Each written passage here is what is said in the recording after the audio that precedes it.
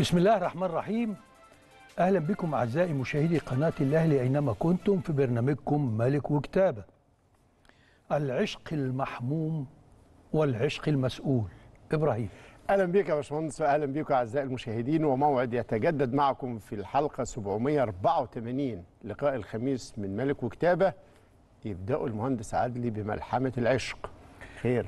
أستاذ إبراهيم العلاقة التي تربط بين الاهلي وجماهيره في كل مكان هي علاقة حب وصل إلى مرحلة العشق.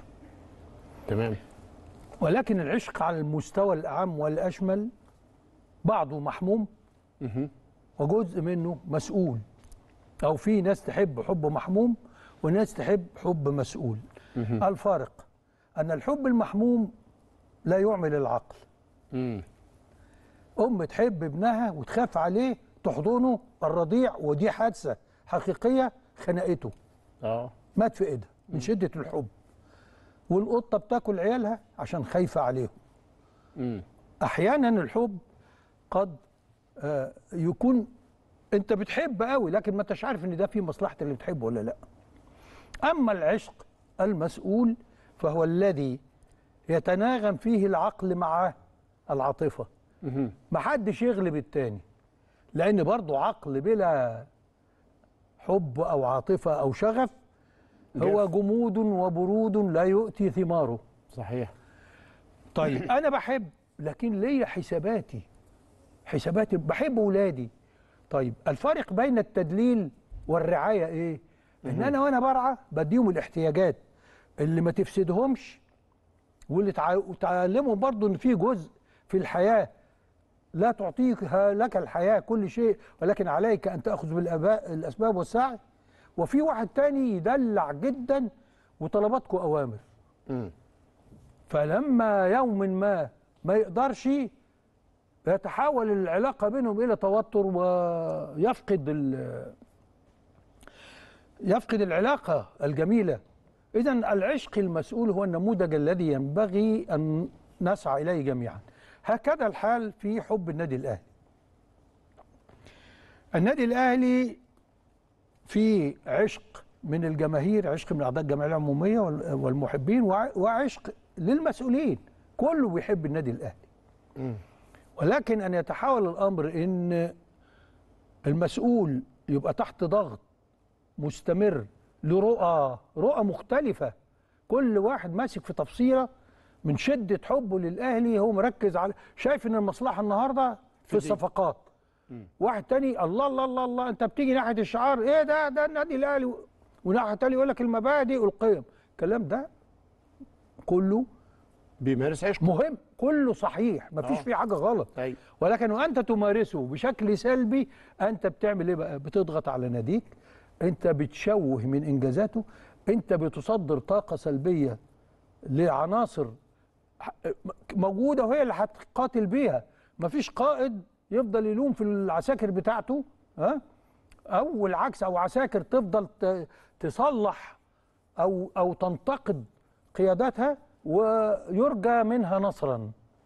إن كانوش لحمة وكل واحد عارف إن التدرج المسؤولية ماشي إزاي آه والمسؤولية ماشية إزاي تؤتي تؤتي ثمرها بالنجاح.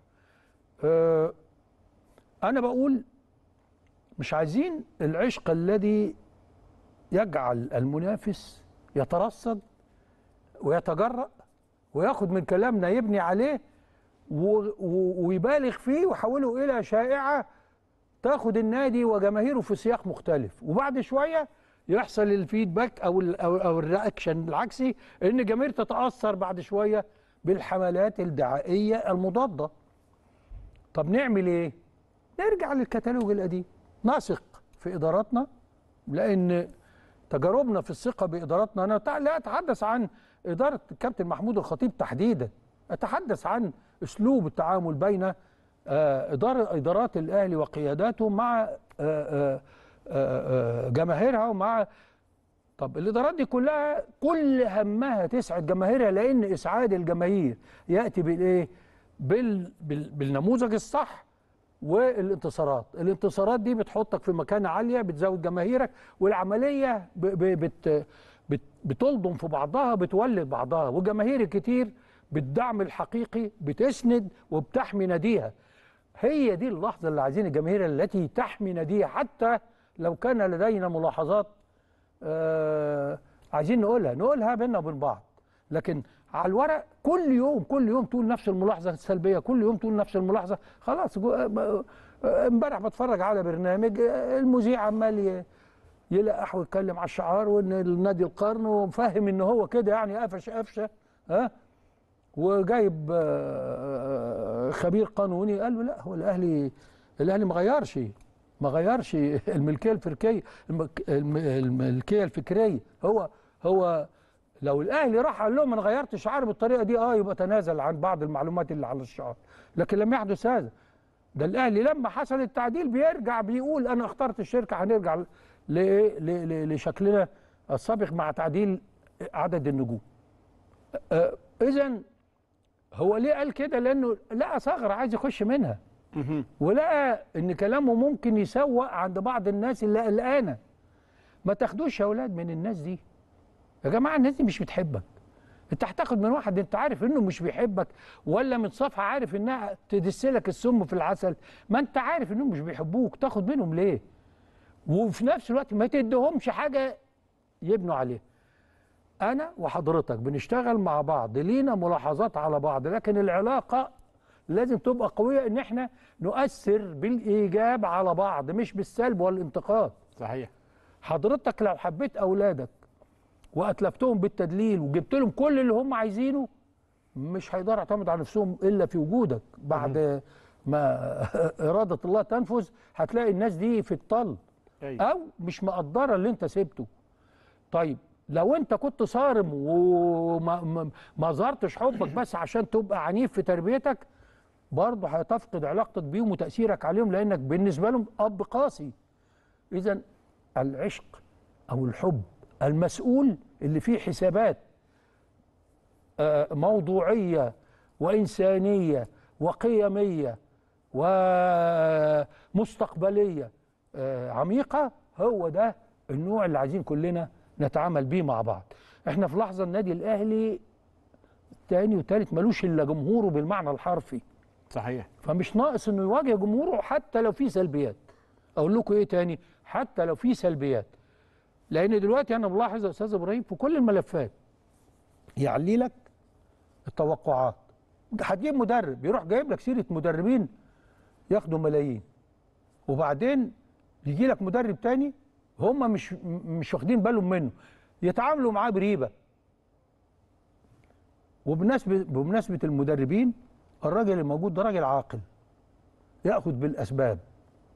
وكل الم... وقافل على فرقته. محدش عارف إيه اللي جوه الفرقة. آه. كل يا جماعة الهري اللي بتسمعوه ده مبسوط من فلان زعلان من علان. ده بيقول ده بيعيد انسوه.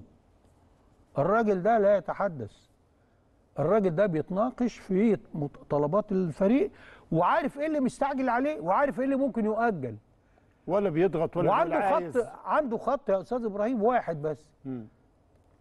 أتحرى المعلومة الدقيقة إن اللاعب ده لما يجي مش مهم يكون أكبر اسم بس يكون يستطيع أن يضيف إضافة حقيقية لاحتياجاتنا بشكل مؤثر يعمل فارق خدوا وقتكم اللي تلاقوه و- وأنا أشعر مناسب هاتوه مفيش مش مستعجلين هيجي لأن الموجود هو مطمئن إن عنده ناس يقدر يعني ينجح. زعلان ولا بيضغط ولا مستعجل ولا بيز...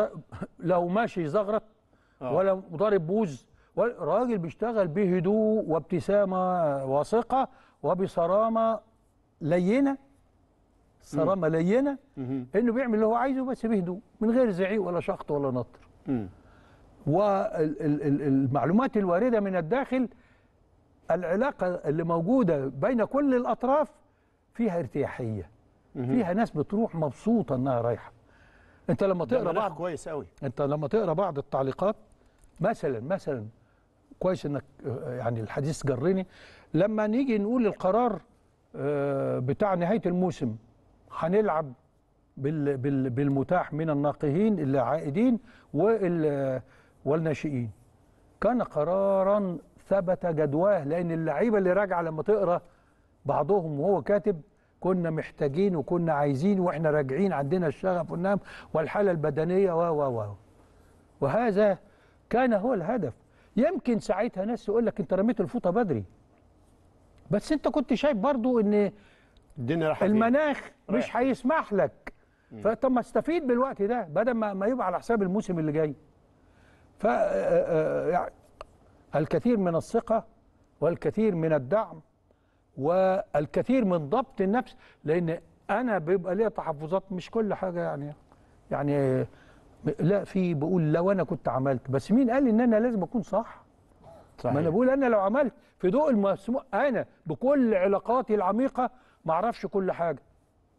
في حاجات في مناطق أنا ما أعرفهاش. هو النادي الأهلي كده.